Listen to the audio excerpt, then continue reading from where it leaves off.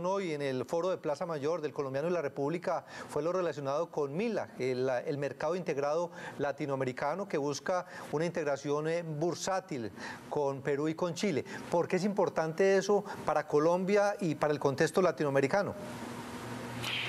Carlos, es muy importante la integración de los mercados bursátiles porque permiten que haya un flujo de negocios, de alternativas, de inversionistas y de productos financieros entre los tres países sin fronteras, sin límites. Eh, preferiblemente ni tributarios, ni cambiarios, ni normativos. Le permite al inversionista colombiano comprar una inversión en Colombia o sobre una compañía peruana o una compañía chilena sin moverse de Colombia.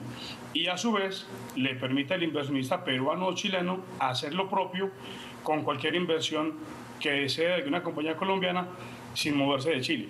Pero siendo eso, y evidentemente eh, es muy importante, lo que también hay que recalcar, Juan Carlos, es que esta integración también habla al final del día de ese primer paso de integración de economías.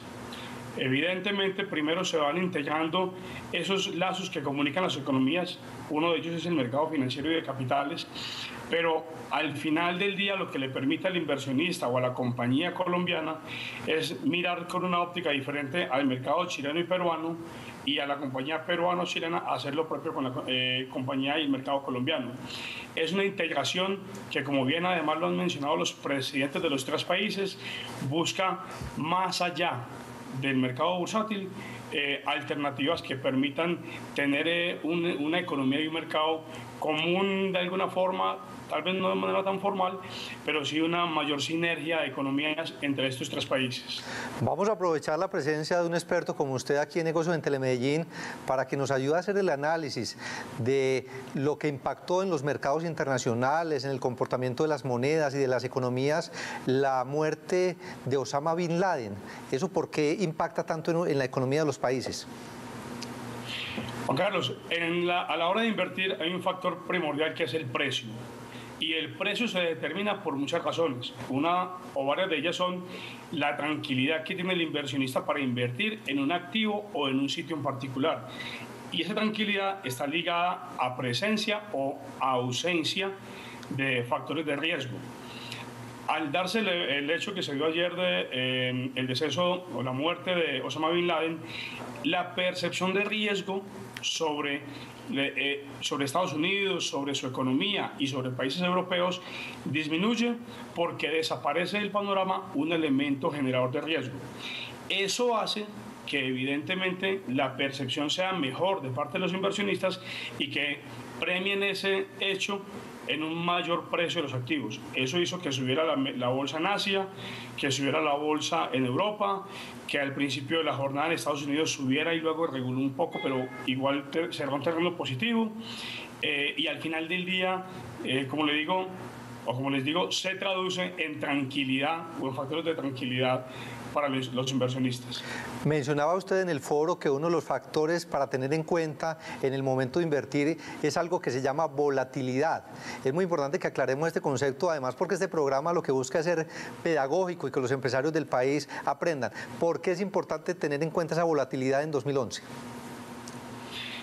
Carlos, la volatilidad es el cambio permanente en mayor o menor eh, frecuencia en los precios. Y es muy importante porque la volatilidad en menor grado le da mayor certidumbre al empresario o al inversionista respecto a lo que va a valer un activo hoy eh, y mañana. En el año 2011 hemos tenido mayores niveles de volatilidad, o sea, mayor cambio en los precios. Usted lo ha visto en el dólar, lo ha visto en las acciones, lo ha visto en activos de tasa de interés. Eh, y es muy importante que el, empresario, que el empresario entienda y comprenda los factores que generan la volatilidad para que conozca de qué manera se puede cubrir eh, respecto de ella. Lo importante de la volatilidad no es que exista, eso es algo intrínseco de los mercados y es algo naturalmente bueno en los mercados. Lo que es importante es que el empresario o el inversionista la conozca, sepa que es un elemento presente, pero que conozca que hay formas también de cubrirse eh, respecto a la volatilidad o sacarle también ventaja y provecho. Entonces, el año 2011 está lleno de noticias, la economía americana ha venido teniendo un cambio y eso ha, hecho, ha generado algunos cambios en los precios, la economía en Colombia también cuando va muy bien hemos visto alguna volatilidad en el precio de las acciones, el precio del dólar ha venido bajando eh, y eso le puede generar también algún cambio al inversionista. Este año 2011 en particular hay que, tener muy presente el elemento de volatilidad porque vamos a ver hechos relevantes que van a generar volatilidad. Pero lo importante es no preocuparse, es conocer cómo se puede sacar ventaja de la volatilidad o cómo puede cubrirse frente a ese eh, hecho en, en, los mercados.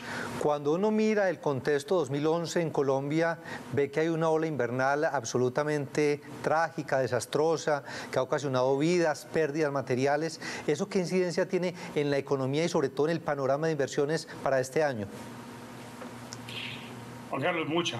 es lamentable y ha puesto la oportunidad más también para decirle y manifestarle nuestra solidaridad a los colombianos que se han visto afectados eh, con esta ola invernal que ha sido de, materia eh, grande. en los mercados también afecta por lo siguiente, y es que si la ola invernal afecta los cultivos y por ende afecta la cantidad de alimentos disponibles para la venta.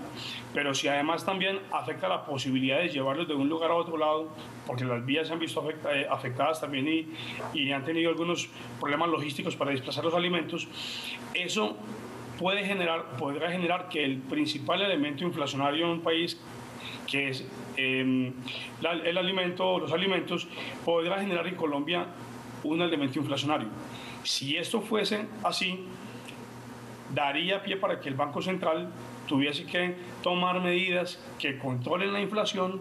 Esas medidas normalmente son incrementando la tasa de interés con la que el Banco de República regula el mercado de capitales. Si esto se da, los créditos y la tasa de interés en general también suben.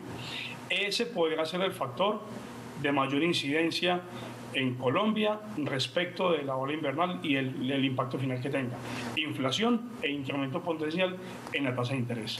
Yo le voy a hacer una invitación para que hagamos una simulación. Vamos a ponernos en el papel de una persona que tiene entre 5 y 20 millones de pesos y quiere invertirlos. Desde su experiencia, su conocimiento y teniendo en cuenta todo ese contexto nacional e internacional, ¿cuál sería el consejo? ¿Cómo debería distribuir ese dinero?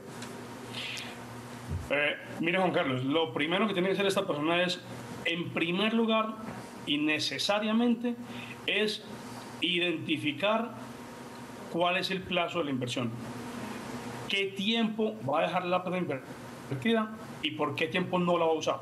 Para que partiendo de ahí determine exactamente eh, el margen eh, y, y el producto donde lo quiere invertir. En los casos, en aquellos dineros que van hasta 15 millones de pesos, lo que yo les sugeriría es que eh, lo hagan por medio de carteras colectivas.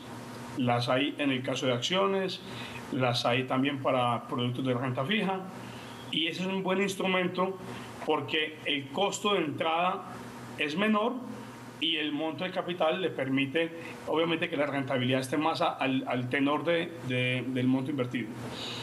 Para los montos superiores de 15 millones de pesos, yo creo que una buena posibilidad es pensar en el mercado accionario. Si bien hemos visto correcciones este año, son naturales. Si usted mira el fundamento de la economía colombiana y de las empresas en Colombia, el comportamiento ha sido muy bueno, los reportes han sido eh, de la mejor eh, condición y el mejor estándar. La perspectiva de la economía colombiana para el año 2011 es que crezca, en nuestra opinión, por niveles del 5.5, un crecimiento mayor al año anterior. Si esto se da, significa que se traduce en que la salud y el bienestar de las compañías es bueno y eso se refleja en que el precio de las acciones también va subiendo.